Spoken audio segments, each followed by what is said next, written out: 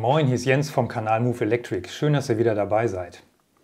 Wenn ihr euch ältere Elektroautos anschaut, weil ihr vielleicht einen Gebrauchten sucht, dann ist eine der ersten Fragen, die ihr euch fragt, wie lange hält der Akku wohl noch und wie hoch ist die Degradation? Wie gesund ist die Batterie in dem Auto?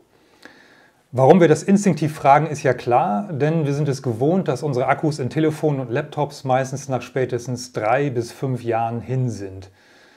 Das ist natürlich ärgerlich, aber irgendwie scheint das ein unabwendbares Schicksal zu sein. Bei Elektroautos ist das aber ziemlich ernst, denn hier geht es um das teuerste Teil des Autos. Bei den aktuellen Autos wird, äh, sind die Batteriekosten ungefähr 20 bis 25 Prozent des Grundpreises. Und wenn da ein Akku kaputt geht, naja, das kommt ja fast einem Totalschaden gleich. Und wir haben ja aus der Erfahrung mit unseren Smartphones gelernt, Akkus halten nicht lange und sind dann Schrott. Gilt das also genauso für Elektroautos? In diesem Video erkläre ich euch mal die ganze Wahrheit über die Haltbarkeit der Batterien in Elektroautos. Bleibt dran und nicht nur, wenn ihr ein gebrauchtes Elektroauto kaufen wollt.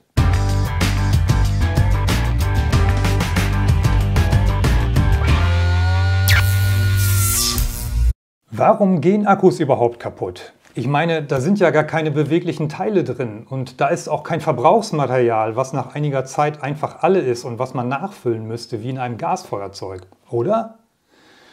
Um zu verstehen, warum ein Akku kaputt gehen kann, muss man sich mit dem Aufbau und den chemischen Vorgängen im Inneren beschäftigen.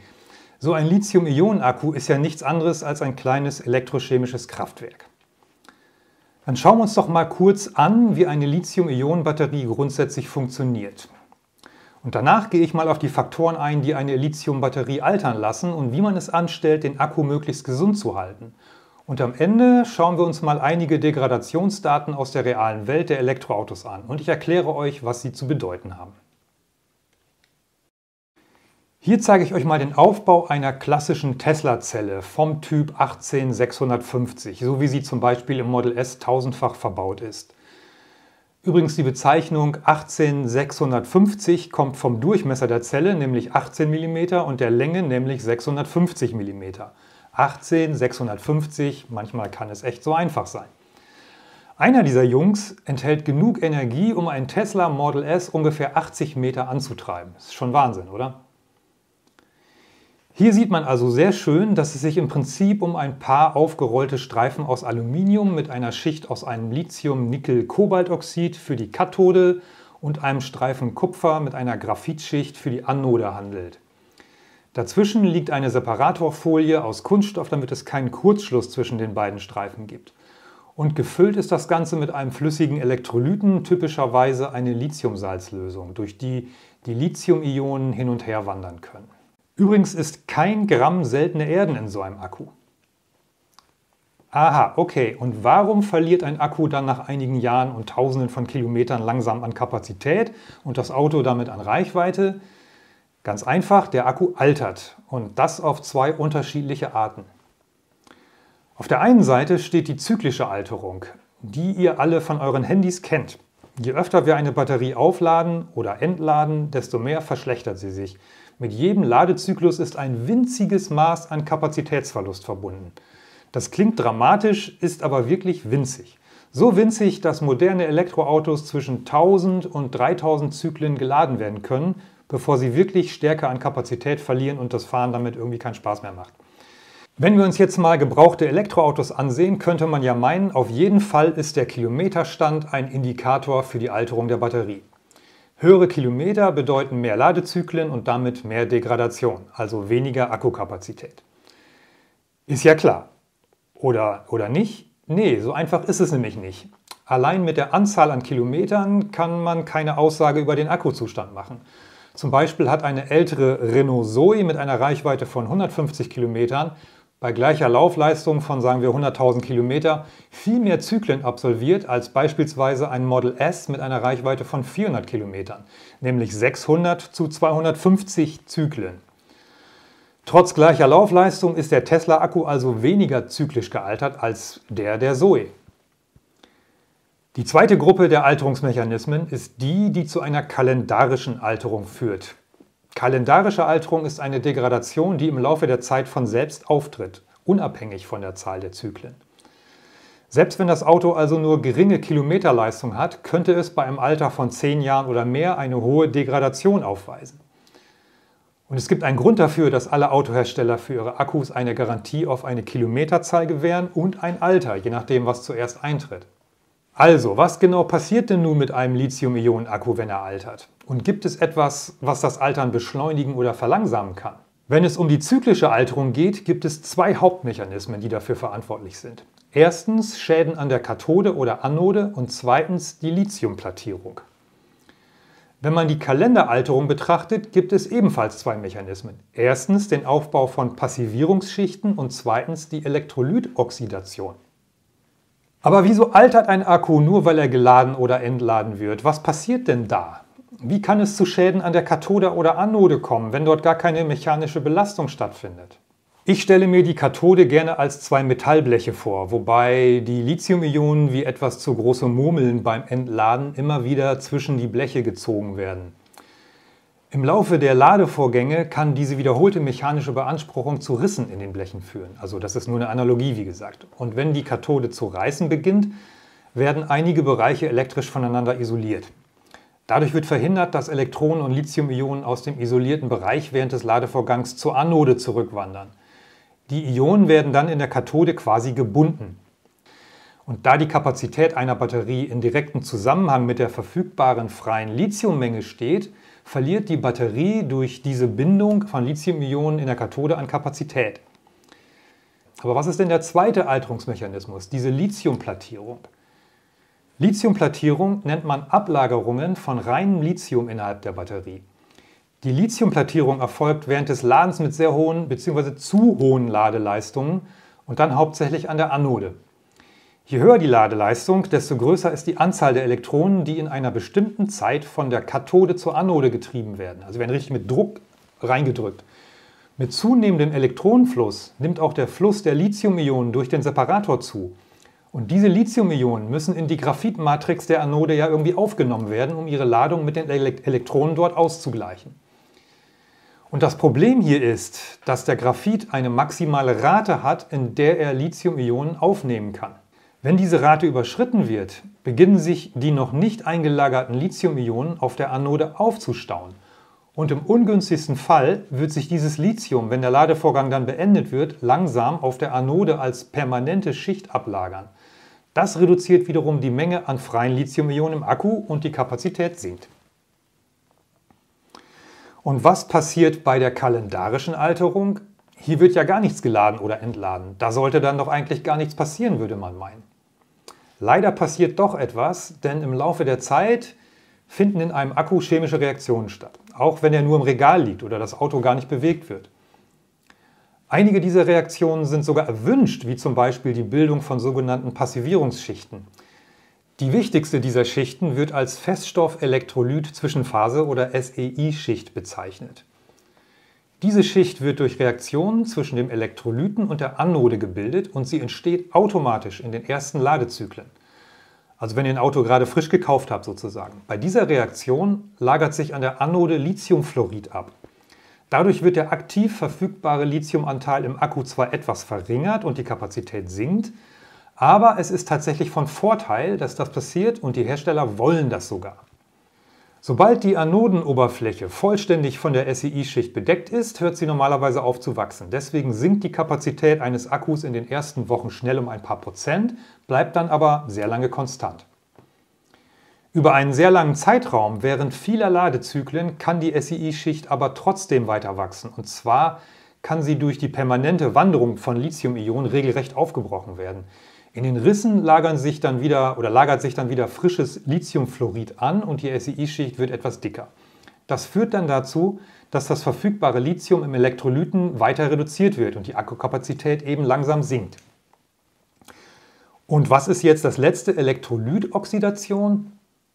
Wenn die Batterie voll geladen ist und die Kathode über einen langen Zeitraum eine hohe positive Ladung hat, also zum Beispiel wenn man den Akku ständig auf 100% aufgeladen lässt, können Elektronen aus dem Elektrolyten in einen Prozess namens Elektrolytoxidation übergehen. Bei diesem Prozess werden Lithium-Ionen aus dem Elektrolyten gezogen und lagern sich in der Kathode dauerhaft an.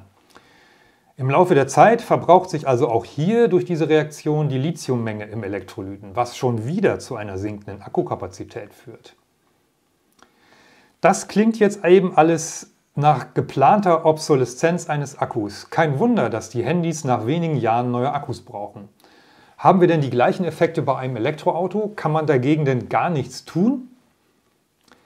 Im Prinzip haben wir die Effekte, aber auf jeden Fall kann man dagegen etwas tun. Und deshalb unterscheiden sich Akkus in Elektroautos auch gewaltig von den Akkus in einem Smartphone. Die Temperatur ist hier das große Thema und ganz besonders hohe Temperaturen. Die Batterie muss nicht einmal im aktiven Einsatz sein, damit Wärme die Degradation beeinflussen kann. Zum Beispiel ist es für den Akku auf Dauer gar nicht gut, wenn das Elektroauto jeden Tag in der prallen Sonne geparkt wird. Dem begegnen moderne Elektroautos deshalb mit einer aktiven Kühlung, die bei bestimmten Akkutemperaturen automatisch anspringt. Kaltes Wetter kann auch die Batteriekapazität beeinflussen, allerdings nur vorübergehend, bis wieder warme Temperaturen herrschen. Das Hauptproblem bei der Kälte ist der Ladevorgang. Kälte fördert nämlich während des Ladens die Lithiumplattierung.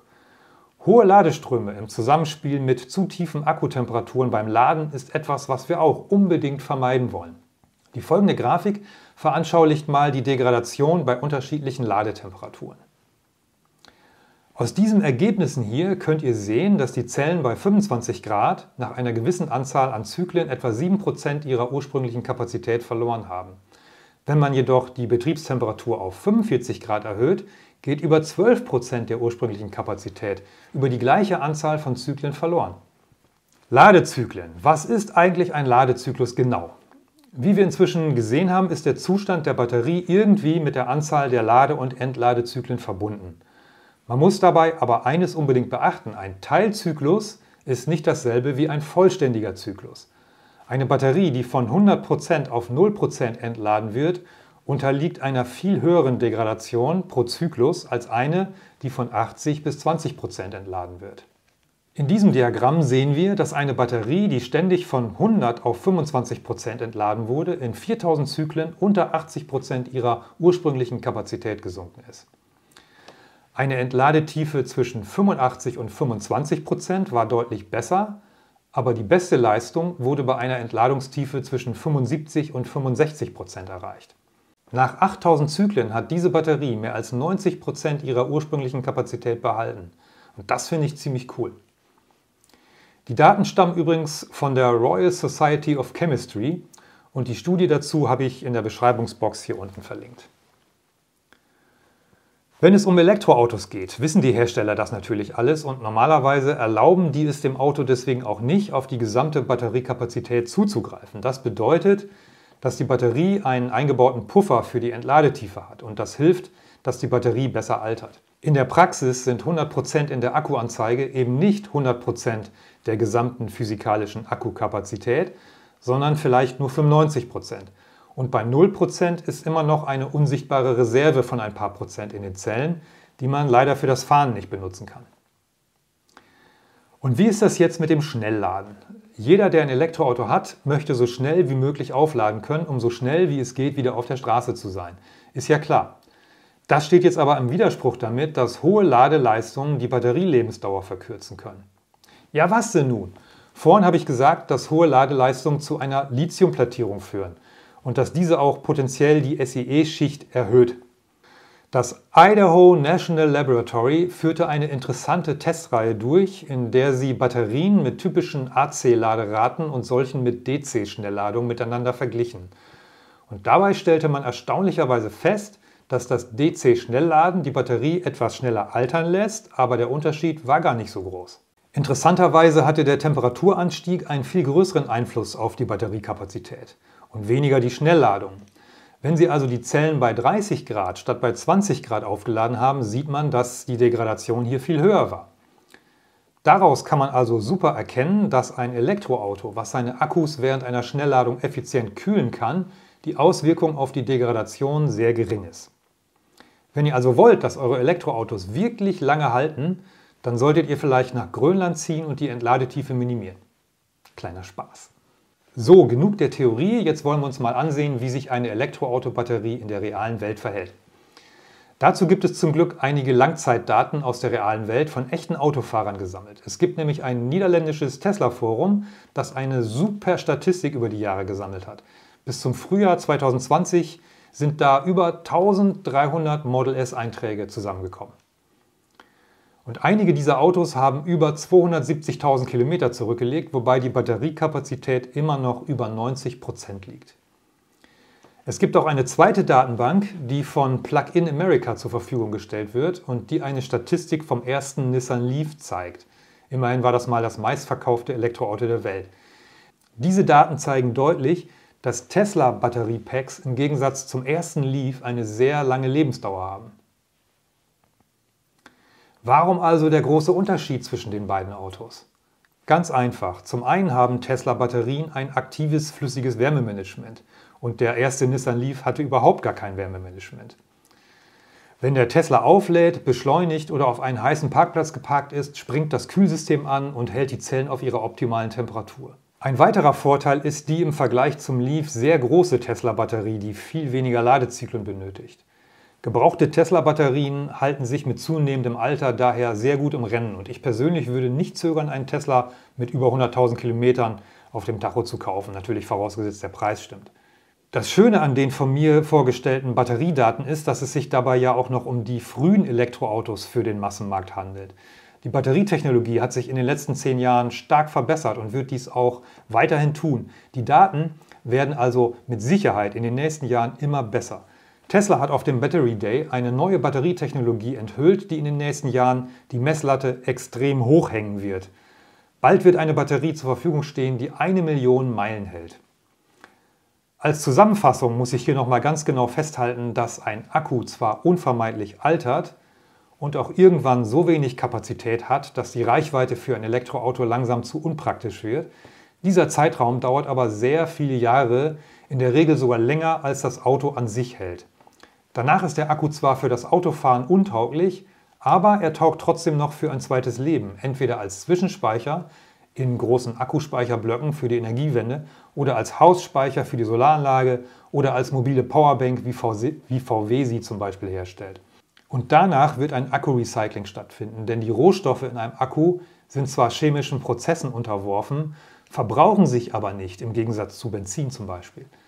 Tesla hat jetzt angekündigt auf dem Battery Day, dass sie in ein bis zwei Jahren eine Akku-Recycling Gigafactory aufbauen und die jetzt langsam in höheren Stückzahlen anfallenden eigenen Altakkus wiederverwerten.